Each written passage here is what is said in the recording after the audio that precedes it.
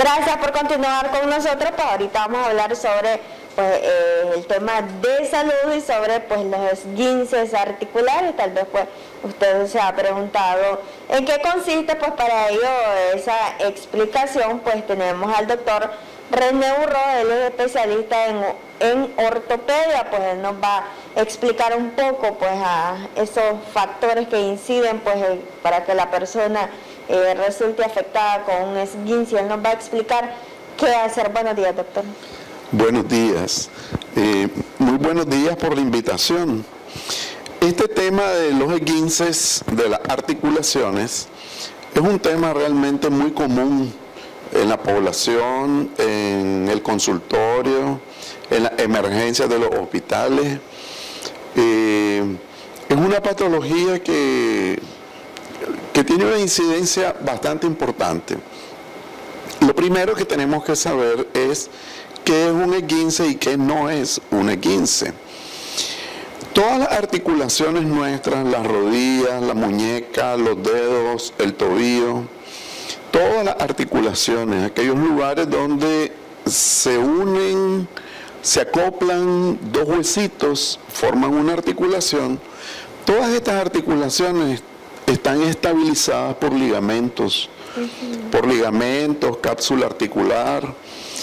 Estos ligamentos que estabilizan la articulación permiten que nosotros podamos mover nuestra rodilla, nuestro tobillo y que se mantenga la articulación funcionando de manera correcta, con rangos de movimiento de acuerdo a su función, pero digamos que estos ligamentos son como estructuras elásticas, pero tienen un límite para elongarse y tienen un límite también mínimo.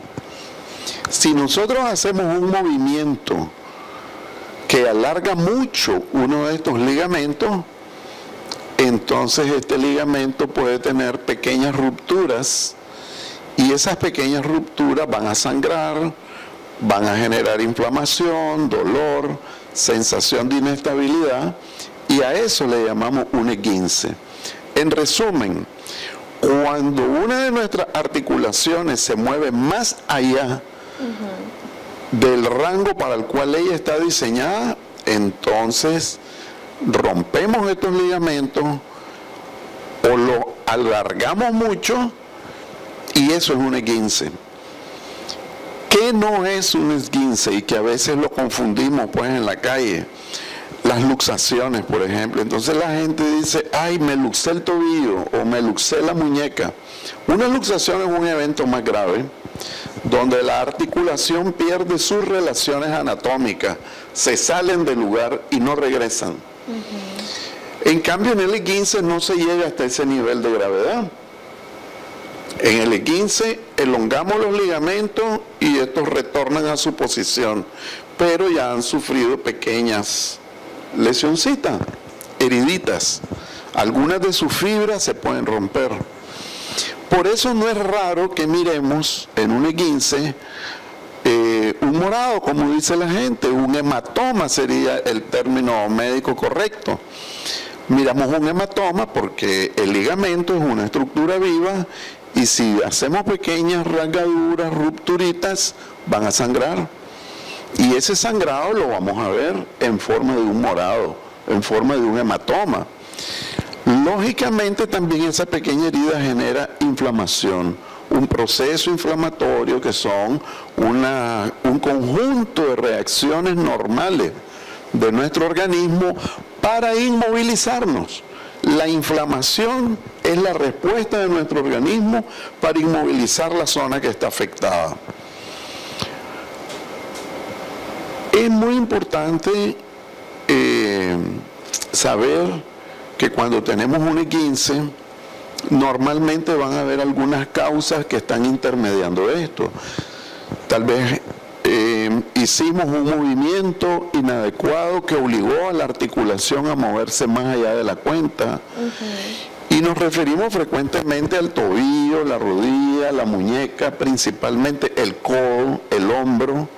En todas estas articulaciones podemos tener E15 Y entonces, yo me voy a referir ahorita, por ejemplo, al 15 del tobillo, pero todo lo que digamos es válido para cualquiera de las otras articulaciones. ¿Pero es más común, doctor, el del tobillo? Probablemente el del tobillo sea el más común. Yo tendría que revisar las estadísticas, pero creo que es el más común de todos. En deportes vemos E15 de todo tipo. Pero, por ejemplo, ¿por qué ocurre un E15 de tobillo? Porque andamos un calzado inadecuado. En el caso de las muchachas, por ejemplo, tacones muy altos Estamos caminando sobre superficies irregulares, sobre lugares oscuros donde hay obstáculos, o no nos fijamos donde íbamos caminando y hay algún bache, algún hoyo, alguna grada pequeña. Entonces, estos E15 van a estar causados por fenómenos que son sorpresivos para nosotros y que tienen que ver con nuestro comportamiento, lo que usamos y cómo está el entorno. ¿Qué no hacer con un E15? Ya vimos más o menos por dónde andan los síntomas. Dolor, inflamación, ese hematoma, ese moradito que sale. Pero ¿qué no hacer? Lo que no debemos hacer para nada es ir a sobar esas articulaciones y lo hacemos bastante, no solo en Nicaragua, no solo en Nicaragua, en todo el mundo. He visto gente de Alemania, de México, de Sudamérica que tienen una lesión de este tipo y van y soban. Y estas son estructuras muy finas, muy delicadas. Y hay un proceso inflamatorio iniciándose para defender nuestra articulación, para obligarnos a detenernos y a inmovilizar la zona. Si nosotros vamos y sobamos y a veces con una gran presión, aumentamos el proceso inflamatorio, pero además aumentamos la respuesta inflamatoria, el dolor y la lesión sobre estas estructuras tan delicadas. ¿Y qué se debe hacer en este caso entonces, doctor? Uno, hielo. Si tiene hielo, eh, la posibilidad de ponerse hielo lo más temprano posible, hágalo de inmediato va a reducir el dolor, la respuesta inflamatoria va a ser más moderada. Dos, inmovilizar. Con lo que usted tenga, puede ser una toalla, puede ser una venda, puede ser una tobillera o una codera o una muñequera, depende de la articulación, y recurra inmediatamente a su médico.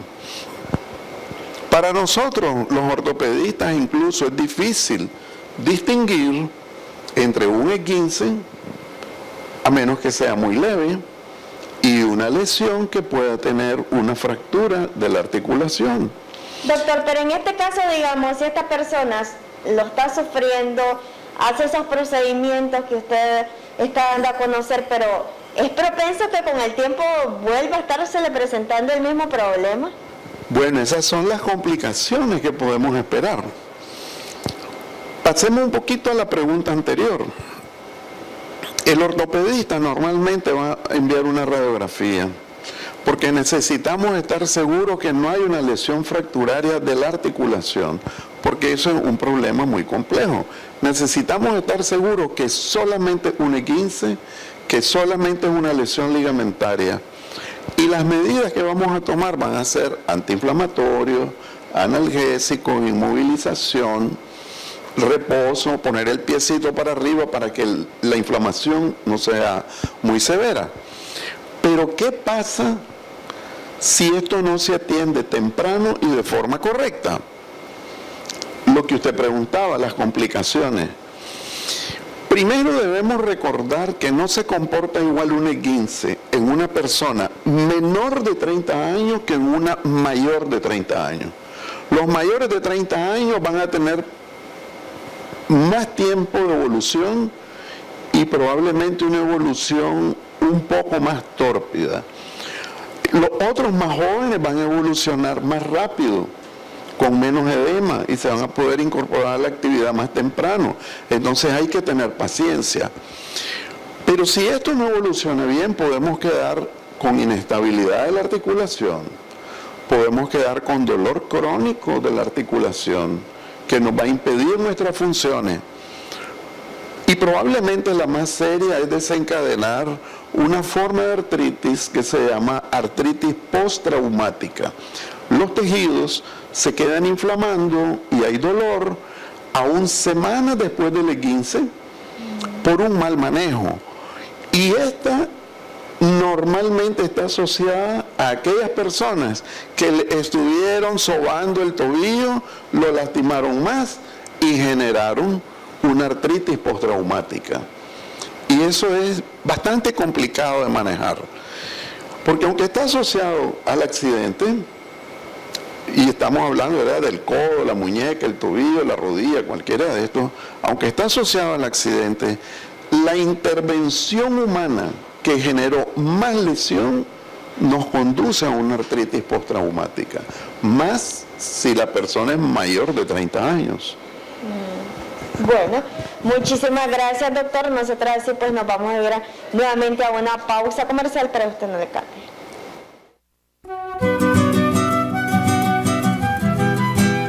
Reconocimientos, denuncias, quejas y sugerencias. Envíelas a Canal 12 Programa Buenos Días Nicaragua, Residencial Bolonia, o llámanos a los teléfonos 2266-0691, 2266-9983, 2266-9984.